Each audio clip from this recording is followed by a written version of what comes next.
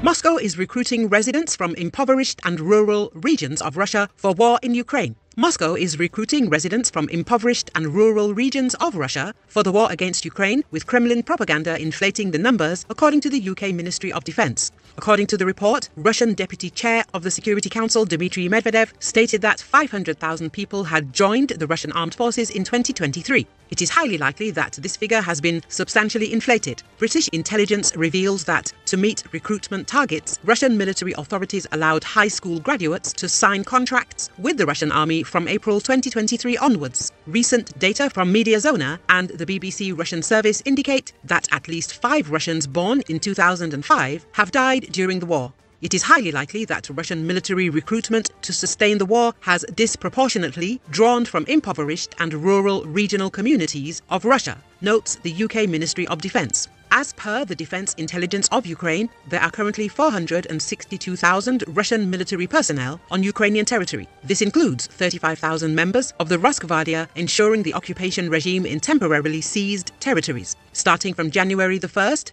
2024, the conscription age in Russia was raised from 27 to 30 years. The lower limit remains unchanged, allowing Russians to be drafted into urgent service at the age of 18. As of January the 15th, 2024, the Russian army's losses in Ukraine have reached 370,000 individuals.